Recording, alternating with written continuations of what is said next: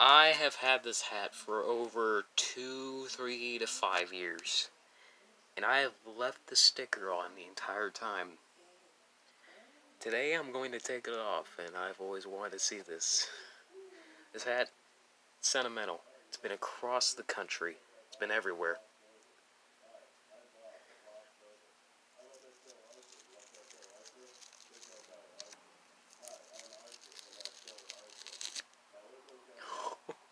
God.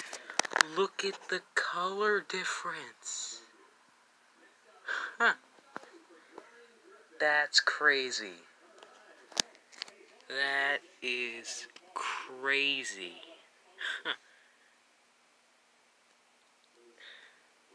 well, I was about to clean it. That's the reason I wanted to make this video. oh my god.